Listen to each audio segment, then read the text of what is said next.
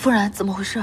他灵犀怎么这么弱？他的伤本来就没有好，被太仓枪附体后灵石受损，不弱才怪。这人竟是北海上君青木。长雀，你快去库房多取些药材来，要滋养神魂的，年份不能太浅。他受的是上神之伤，等闲之物没有疗效。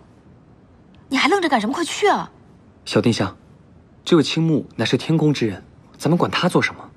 而且古君上神，要是知道了，一定会不高兴的。长雀，你怎么那么多废话？小神君的话你都敢不听了？后池，你先在这看着，我现在就帮你把药材取来。走，长雀。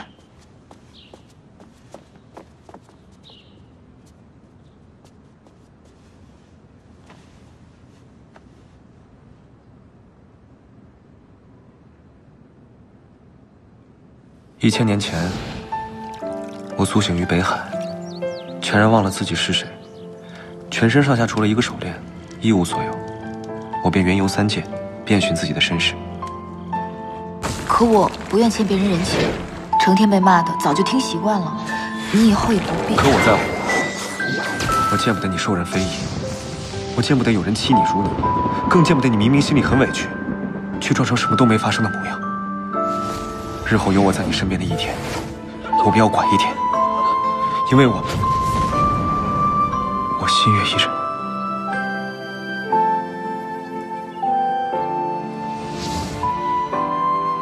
此事因我而起，我绝对不会袖手旁观的。你放心，青池宫也会护着你。夫人长坐。他可是夺了太仓枪之人，日后风波必然不会少，而且咱们青石宫收留他，一定会有麻烦的。好了，长雀，后池的性子你应该是知道的。他是如此谨慎之人，会想不到这些吗？可他还是要救他，这说明什么？什么？说明啊，过些日子，青木上君很有可能就是咱们青池宫的人了。啊？可他们二人足足差了几万岁啊！自古风花雪月之事，越是不可能在一起，才越动人啊。你瞧后池待他那般模样，明眼人都能看得出来，只是他自己不知道罢了。可这八字还没一撇呢，长座，你就这么有把握？不信咱们走着瞧。哎，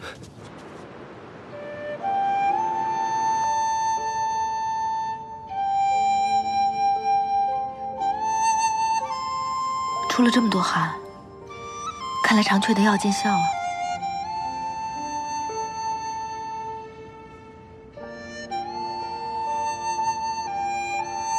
这屋子有点闷，我去把窗户开开。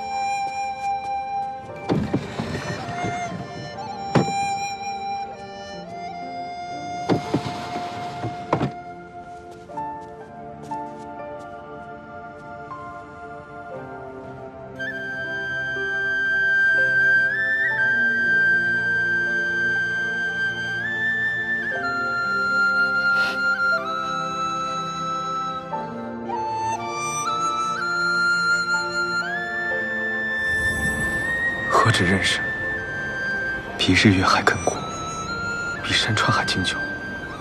我从没有一刻忘记过你。白绝神尊因为太仓枪附了青木的身，可他却说认识我，这到底是什么缘由？博玄房里有很多神界遗失的竹简，我去看看。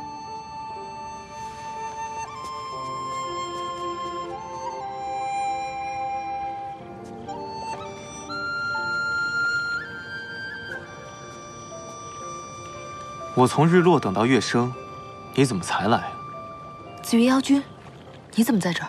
我想见你，自然就来了。青池宫中有父神留下的上神结界，这紫月妖君竟然可以轻易出入，想必其实力在父神之上。想什么呢？别急，让我猜猜，你白日里在瞭望山瞧见那么多事，又听见白绝神尊唤你上古，此时你心中正琢磨不透吧？你怎么？我怎会知道他唤你上古？你好好想想，那日在紫月泉，我唤你什么？上古，我终于找到你了。上古，不错，今日我来，正是为了告诉你一切真相的。这后池可以呀，连紫月妖君都对他一见倾心。不过这紫月妖君到底是妖族中人，又跟妖皇有关系，不如咱们青木，仙妖两族不沾，出身清白的好。紫月妖君哪里不好了？实力强大，又有整个妖族做后盾，哪是青木上君比得了的？你是什么人？什么时候来的？啊，在下子涵，随紫月妖君一起来青池宫拜访，这不正好碰上妖君表白小神君的好戏吗？便忍不住上来瞧瞧。嗯，同道中人，在下凤然。不对啊，你跟我站的不是同一人啊，不是一个墙头不相为谋啊。想不到你这个人这么八卦，还挺有原则的。那是当然了。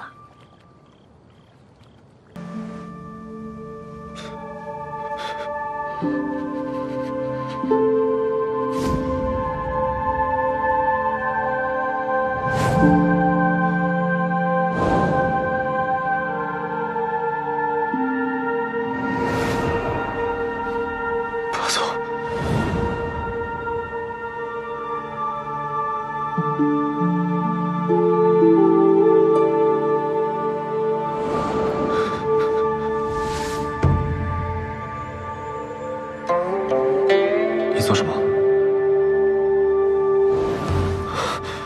上官，不要走！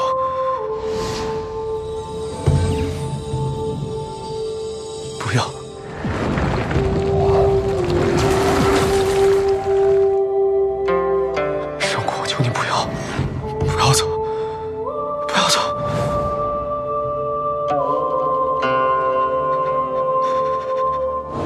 上官，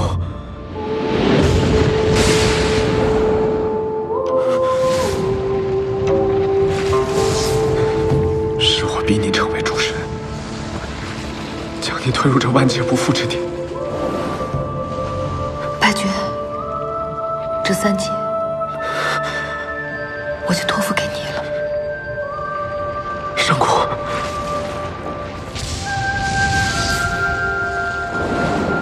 蛇骨。